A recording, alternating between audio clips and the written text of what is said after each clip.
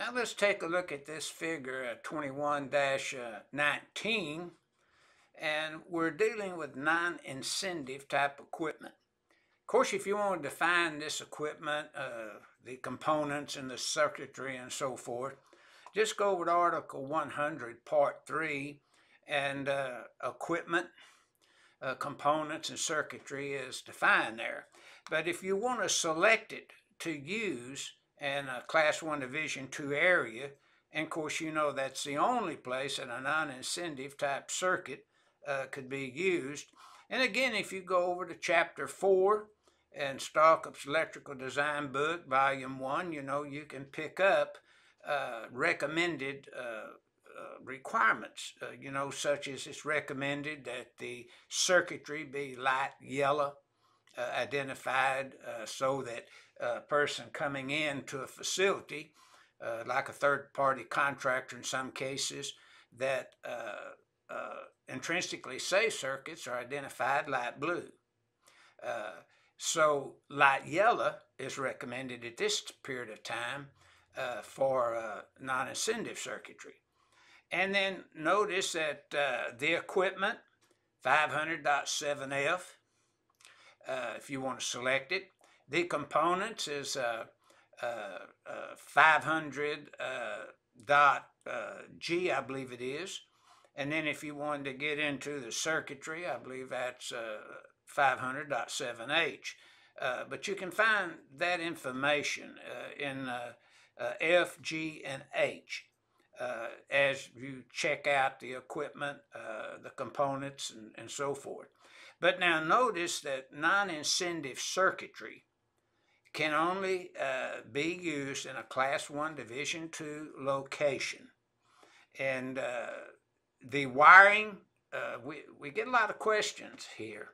James and I get quite a few uh, questions about their circuitry. Can I use any uh, type of wiring uh, for non-incendive? Yes, go over to 501.10 as in boy 3. And there it tells you that you can use any of the general purpose uh, wiring methods of, of uh, you know, of the 300 series.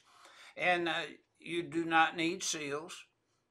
But the uh, only thing that's important here, now I'm talking about, you know, where you're using the cables and so forth. Uh, the, the important thing, you can't damage it in any way. It doesn't have a barrier like intrinsically safe. So you can't damage the wiring in any way or it could it could produce an arc or spark that would be dangerous to an explosive mixture. Uh, so we want to make sure, you know, for example, you couldn't be using a screwdriver and uh, accidentally be tightening a, a screw or something and damage the device, you know, drive a screwdriver through it where an arc could develop. So that's why they say it's under to be used under normal operating conditions, but never in an abnormal type condition.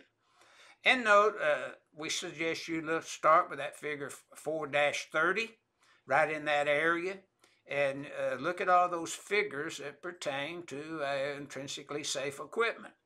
A lot of uh, areas where this equipment is used is like 501.105 it, it's used in there uh, in that area for uh, instruments, meters, relays. And then you could go over to 501.150 and non-incendive is addressed there under certain conditions and can be used there. We have uh, hermetically sealed contacts. Uh, you have all immersion type contacts where we can use a class one division two type equipment for signaling, alarm, control, that kind of thing and 501.150. So two sections that people use this uh, type of system quite a bit is outlined in 501.105 and 501.150. And that's what this uh, figure is illustrating to the user of the NEC.